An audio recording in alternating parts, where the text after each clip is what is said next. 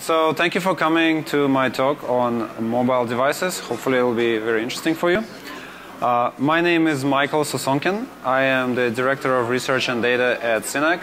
And Synack is a crowdsourced vulnerability discovery program, so we generally have uh, a team of people that discovers vulnerability for our customers. And so if you're interested in that, we can um, basically pay you for bounties for that. Occasionally we have customers that also want to us to find out if uh, there's a way to find sensitive information in their websites. So that would be more relevant for the recon crowd. So once uh, a very sort of respectful person that I have lots of respect for has said that recon starts uh, much earlier for many people, even though for most defenders this is where they consider a beginning point.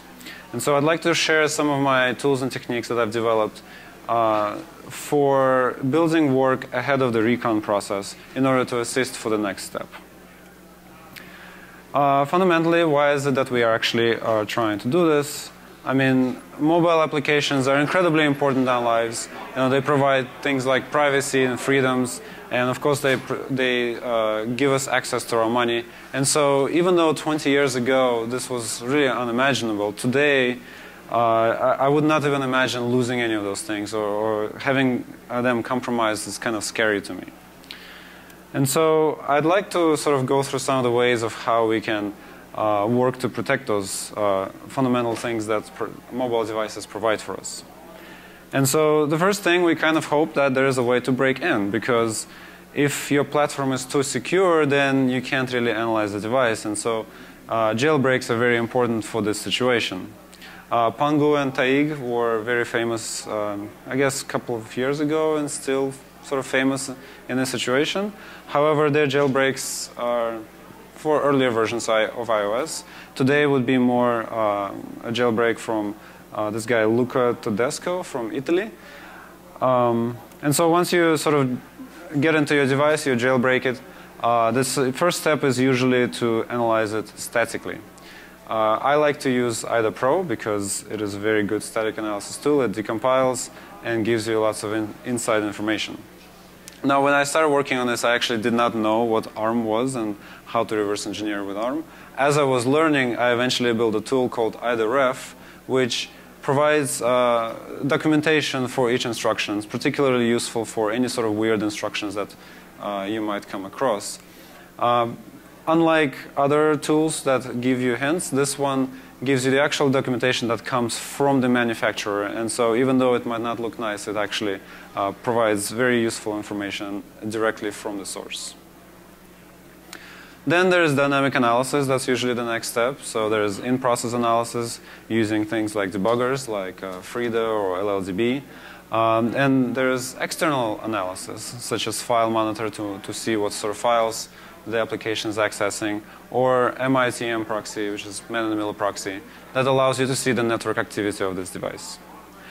Um, I also built a tool called objc_trace, which actually allows me to do sort of packet sniffing internal to the device itself. So which services does this application interface with, and what messages is it passing in internally. Now, the reason it works is because Objective-C is incredibly nice, uh, it uses a messaging interface to execute functions. And so if you can kind of hook in there and observe which messages are being passed around, you can uh, observe uh, what the application is doing in some abstraction layer. Um, next one is the uh, Mach port messages. Those are useful for any sort of inter-process communication. And so to discover what services the application is trying to interface with. Uh, in order to uh, build this tool, I had to hook a function called objc uh, underscore message send.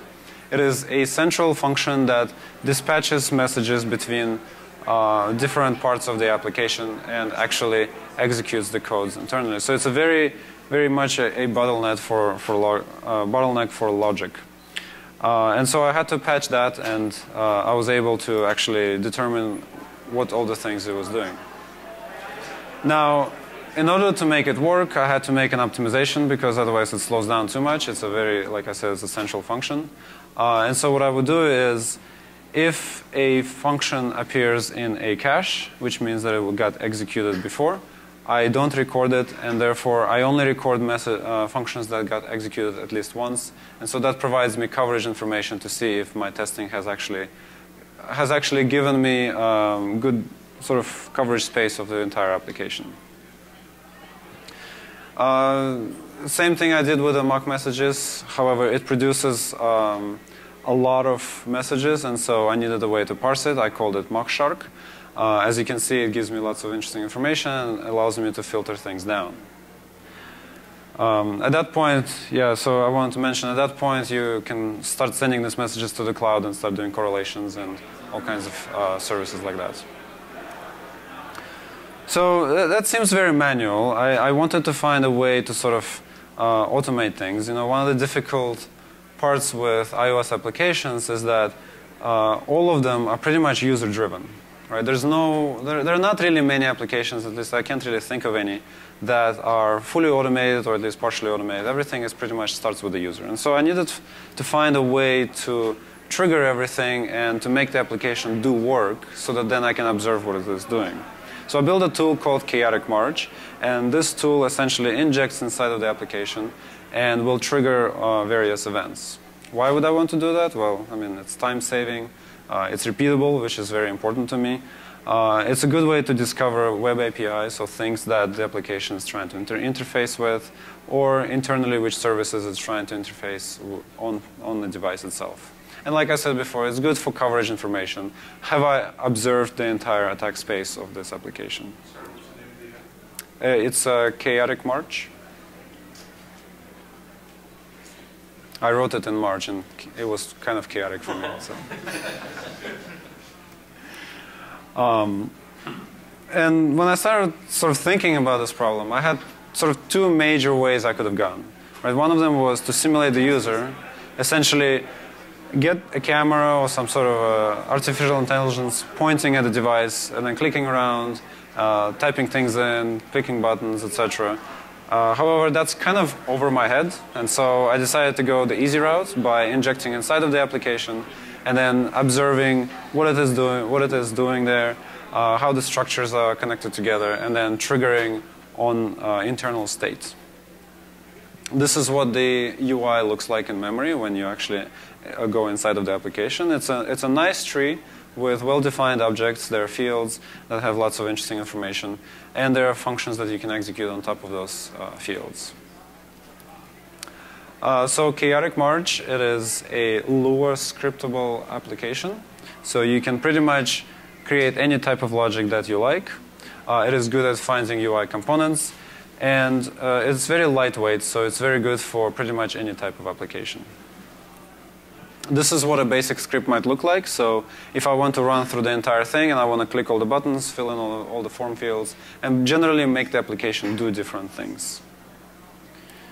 Uh, this is kind of what it looks like when, you, when it all comes together. You know, I have a little monkey, even though it's actually a chaotic march, clicking around, doing things, and it's triggering the application. And then there is a man-in-the-middle proxy that actually manipulates um, uh, any, any network information that goes through, and it sends it back to the application upon return from the server. Now I do this because I want to trigger things on the application as much as possible. So if I mutate certain responses, then I can make it give up more things for me. All right, so the applications for discovery are huge. You know, Web API is, is one of the big ones. You know, every time an application kind of reaches out somewhere, even if I don't authenticate, it sort of tells me what it is that it's looking for. You know, oh, I'm looking for this image, I'm looking for this uh, entry in the database, etc. And so that, that opens up attack surfaces for me. Uh, local behavior is pretty big for this one, so any sort of files, IPC, any sort of uh, infrastructure that it tries to access. Uh, and it's a good way for me to determine which things the app considers important, which things the vendor considers important, and sort of give me sort of samples that I can work with further on in my analysis. So this is something, this is what it looks like. So when I sort of run this loop, um, I have an application, it's a, it's a Russian um, um, it's called Odnoklassniki, which is the uh, social networking site for uh, fam famous in Russia. Um, and when I try to essentially get it to log in several times, it eventually gives up a whole bunch of uh, infrastructure um, uh, endpoints that I can later analyze uh, afterwards. So like you, you can see I highlighted four of them down there. So when I made this ride, I was very hungry, so there's chocolate in there. Um, the other mechanisms that I can use for assisting with automation of this stuff is essentially trying to rewire the application. So if we look at this example, um, I had the uh, private wealth management application from Goldman Sachs uh, because I have about $10 in my account, so I felt like I really needed it. Uh, but I really wanted to get more, so I wanted to find out what my attack surface would look like if I was going to uh, do more things. So when I just try to log in, I really get only about two, three, or maybe four things that I can then attack. However, what I tried to do is rewire the application internally. And you can see on the bottom, maybe some people on the back can't really see it. But what I did is I essentially changed the function for, uh, for accepting an authentication response to always return true. And so what this means is that when I enter a username and password and I say login, the application sends the information out, but then the service says, oh, I'm sorry, that's the wrong password, I can't really do anything about. However, the application thinks that it, the login was successful, and so it will go on to the next stage and reveal more things that it's trying to access. And so here, I didn't highlight all of them, but there's you know, tens or so uh, interfaces that it's trying to access. It gets an error for pretty much each and every one of them, but it gives me samples that I can then use for fuzzing. It gives me uh, more information about the uh, vendor infrastructure, and essentially I can now have a better idea of what it is that I'm facing in case uh, I want to actually learn more about, um, you know, whoever wrote this application. I don't know who this might be. So I thought that was pretty interesting. Um, putting it together, this is the picture we get. You know, we can start manipulating the uh, sort of the interface from the application to the vendor, and then I can start manipulating the interface inside the application itself, and basically just get it to give up as much information as possible, and then put it in my notebook and um, you know gather it up for my next steps. So that's pretty much it. Um, you know, there's lot, lots of possibilities here. You know, applications obviously are important. You know, freedoms and such; those are great things. Uh, automation is always useful. So if I can recreate my uh, tests as much as possible, you know, if they released a new tool, a new application, then I can rerun through my tests and actually get get to see what changes happen there. And of course, uh, I really like the idea of being thorough. So here, if I'm running it through an automated mechanical tool, then it's more likely to be thorough than if I'm sitting there and clicking it on my own. So that's pretty much it.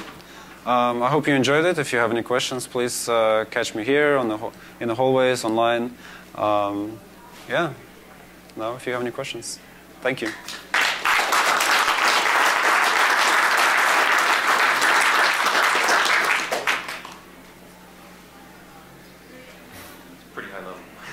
There's a lot of stuff going on. Uh, if you want more low-level details, uh, debugtrap.com, pretty much everything is laid out. Uh, there's lots of information there. I, I tend to blog before I talk. Uh, in, in, case of DEF CON, I, I, really can't because they don't allow it. So I will write up the blogs and then post them online anyway. So do you need a physical device to do this, or is, are there any like virtualization or simulation techniques that you can do this with? Unfortunately, you do need a physical device just because Apple is so stringent about allowing people to virtualize things.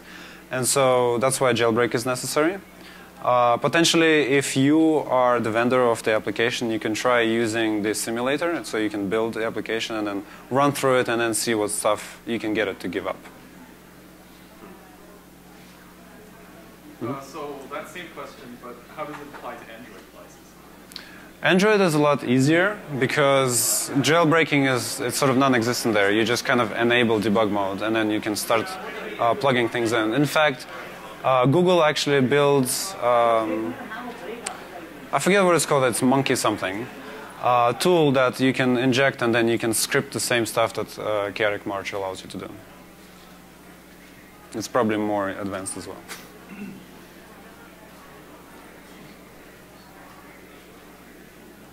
Any more questions? Yes. During your rewire uh, part, what tool is you're? Um, this one? You force the, uh, the logging to be true. Uh, this, this tool is called uh, Cycript.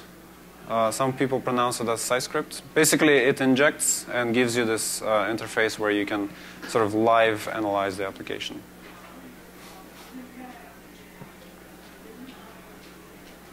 Cool. Well, thank you for your attention. Uh, check out synack.com.